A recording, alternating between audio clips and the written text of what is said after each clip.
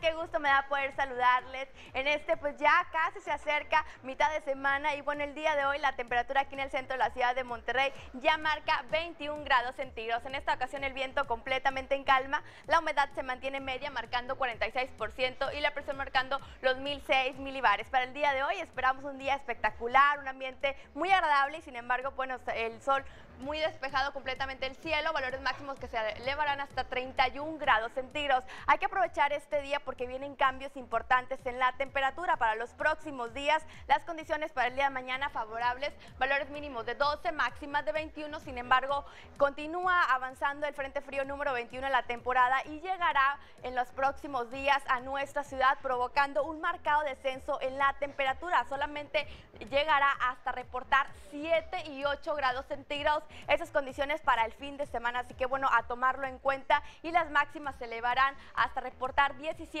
y 18 grados centígrados. Es por ello que en la imagen de satélite podemos observar cómo este sistema frontal continúa avanzándose, ya que se localiza sobre el norte de Baja California y también Sonora. Continuará avanzando en las próximas horas y ahorita ya se están registrando bajas temperaturas, inclusive nevadas fuertes en, en los estados de Sonora, también Chihuahua y Durango principalmente y continuar avanzando llegando en los próximos días a, bueno, a nuestra ciudad. Así que a prepararnos para ese sistema frontal que ocasionará bajas temperaturas. Continuamos con más en Gente Regia, como tú.